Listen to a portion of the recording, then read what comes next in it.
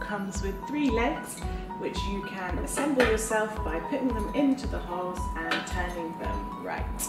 It's super easy to do and doesn't take long at all. Because this table is made from all metal, it's really sturdy and goes anywhere in your house. So we just finish it like so, and then you're done.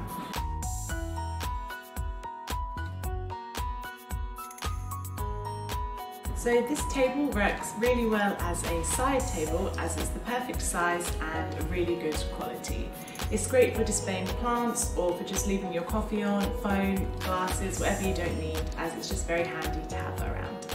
So this modern looking table can also be used as a nightstand in your bedroom as it's great for displaying photos or leaving your phone whilst you're trying to sleep.